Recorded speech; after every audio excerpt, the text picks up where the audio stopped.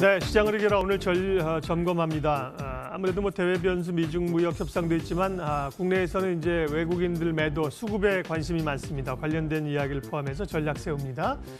오늘은 조현주 NH투자증권 연구위원 오셨습니다. 어서 오십시오. 안녕하세요. 예, 수급 얘기 전에 일단은 뭐 미중 협상이 다시 좀 삐걱거리고 있는데요. 예. 연내에 합의가 될 수 있을까라는 고민들도 살짝 생기고 있습니다. 어떻게 보세요?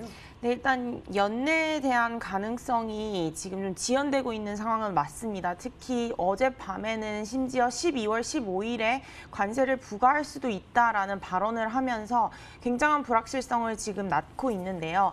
어, 저희가 생각했을 때는 일단 1단계 합의를 한다는 것 자체 가 미국이나 중국 제조업 지표가 이미 50선을 내려갔기 때문에 지금 경기가 축소 구간에 진입해 있습니다. 그럼 결국에는 이게 지속된다면 경기 침체가 온다는 것을 미국과 중국이 모두 인지하고 있기 때문에 1단계라는 빅딜이 아닌 스몰딜에 대한 협의가 진행되고 있는 상황인데요. 그 부분을 생각을 해본다면 12월 15일에 만약에 그 대규모 중국 수입품에 대한 관세 부과를 할 경우에는 경기 침체는 올 수 있다 라는 가능성이 굉장히 높아질 수 있는 거고 그러한 결정을 하기에는 어, 굉장히 큰 국가 두 국가가 어, 좀 너무 부담이 되지 않을까라는 부분이 가장 큰 요인인 것 같습니다. 그래서 저희는 연내 가능성이 없더라도 1월이라든가 아니면 내년 1분기 이런 협상은 지속해 가면서 여기서 더 악화되지 않는다라는 베이스 시나리오는 계속 가져가야 된다라고 말씀을 드리고 있고요. 지금 어, 굉장히 뉴스에 민감한 시장인데 그, 그렇기보다는 오히려 과도한 조정이 나 왔을 때는 좀 침착하게 대응하는 전략이 맞다라고 판단하고 있습니다. 네. 외국인 얘기 오늘 이제 주제니까 하겠습니다. 외국인들의 매도가 이제 계속해서 이어지고 있고요. MSCI 조정 이후에도 다시 뭐 아람코 관련된 얘기들이 나오면서 수급이 좋아지겠느냐 이런 아, 부정적인 기류가 많습니다. 외국인 흐름은 어떻게 판단하세요? 네, 일단 첫 번째로 MSCI 리밸런싱 이후에 지금 아람코가 12월 12월 말 또는 1월 달에 상장할 수 있다라는 우려가 이제 첫 번째 요인인 것 같고 두 번째는 미중 무역 분쟁 불확실성이 커지니까 결국에는 미중 무역 분쟁의 가장 큰 피해 국가인 한국에 대한 어, 두려움이 두 가지로 이제 작용을 한 것 같은데요. 일단 수출 지표 보신 거와 같이 좀 수출 지표가 낙폭을 좀 축소하고 있는 상황인데 일단 코스피랑 수출 증가율의 상 관관계 자체가 거의 0.8에서 0.9입니다. 그럼 결국에는 코스피가 올라오려면 수출이 개선되지 않는다면 은 이제 올라오기 힘든 상황이 이제 한국 주식시장의 전형적인 모습인 거고요. 그리고 아람코 같은 경우는 MSCI에 만약에 이제 사우디가 이미 편입되어 있기 때문에 아람코가 상장을 하면 자동으로 MSCI EM에 들어오기 때문에 어마어마한 규모의 어, 자금 이탈이 한국에서 나타날 수밖에 없다. 이렇게 보시면 됩니다. 근데 이제 외국인들에 대해서 수급이 저희가 앞으로 돌아올 여지가 있다라고 지난주부터 계속 말씀을 드렸는데 그 이유는 일단 첫 번째로는 수출 증가율 개선의 모습이 10 10월이 이제 마지막으로 이제 가장 낮은 지표 어, 감소폭이고 11월부터 감소가 조금 잦아들었고 그리고 12월과 1월에는 좀 더 개선될 수 있는 여지가 있다라고 보고 있는데 그 이유 중 가장 큰 부분이 디램에 대한 공급 해소입니다. 그래서 중장기적으로 봤을 땐 수출 지표는 나아지는 모습이지 더 악화되는 모습은 아니라는 게 이제 첫 번째이고요.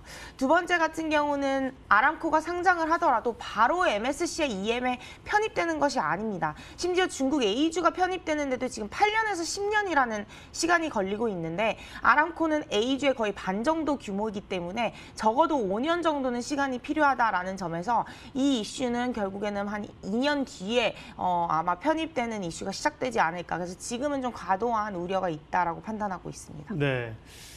그러게요. 아람코 상장이라는 또 이제 수급적 부담이 있는데 그 부분은 이제 에, 단기적으로 시장이 좀 과민 반응하고 있다는 말씀이십니다. 경제 지표 살펴보겠습니다. 중국의 지표들이 조금 좋게 나오는 게 다행스럽긴 하지만 미국의 간밤의 지표 안, 안 좋았고요.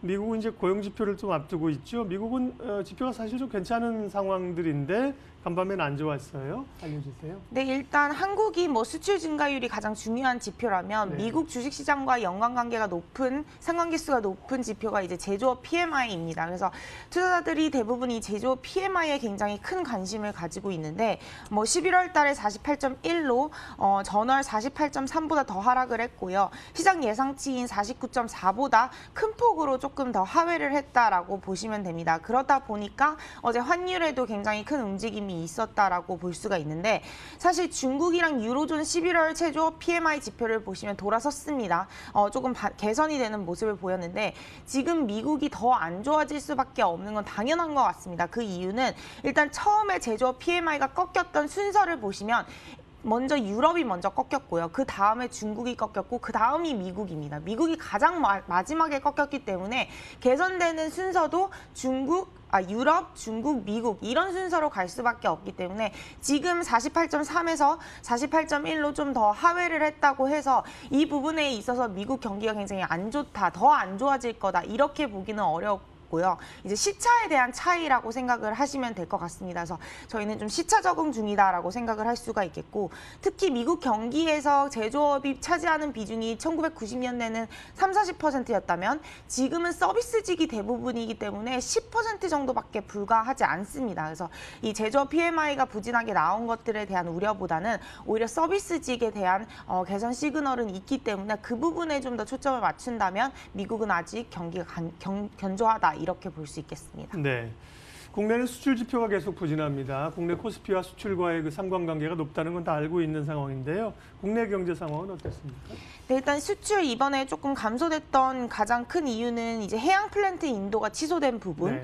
그리고 디램 가격 이 이제 회복이 좀 지연됐던 부분 이 두 가지가 이제 반도체 수출이랑 어, 조선 쪽에서 수출을 좀 더디게 만들었다라고 보시면 될 것 같습니다. 그래서 저희 한국의 가장 큰 수출 축인 이 두 가지가 좀 개선되는 모습이 좀 더딘 건 맞는데요. 일단 긍정적인 부분을 좀 말씀을 드리면 선박을 제외한 수출은 마이너스 12.3으로 10월 달에 마이너스 15.9 대비해서는 어, 좀 큰 폭으로 개선됐다라고 볼 수 있고요.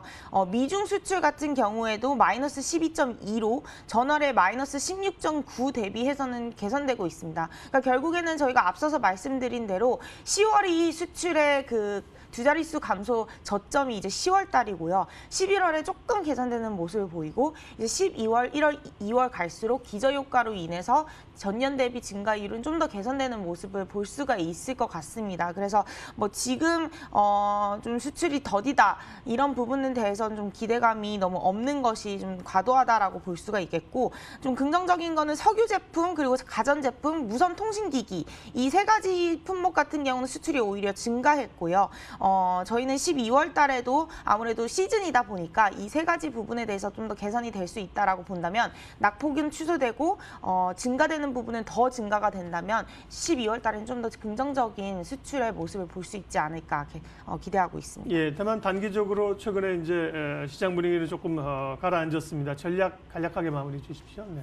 근데 지금 아무래도 12월 달에 가장 큰 이슈는 미중인 것 같습니다. 그렇다 보니까 어느 정도 시장이 오른 부분도 있고 차익 실현에 대한 욕구가 좀 높은 상황인데요. 오히려 조정이 과도하게 나왔을 때는 어, 좀 매수하는 전략이 유효한 것 같고요. 저희는 여전히 IT를 중심으로 비중 확대 유지. 그래서 삼성전자나 SK 하이닉스의 과도한 외국인 매도 물량이 빠져나왔다면 어, 들어가는 게 좋을 것 같고요.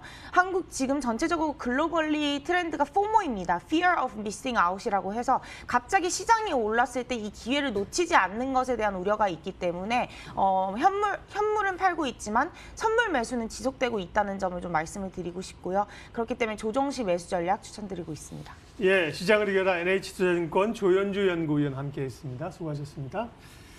지수는요, 예, 어, 여전히 1% 하락입니다. 2060대 후반 70선에서 움직이고요. 코스닥도 1%두 시장 모두 예, 밀려가고 있는 형국입니다. 어려운 상황인데요. 예, 중심 잘 잡으시고 대응 잘 하십시오. 함께 해 주셔서 고맙습니다.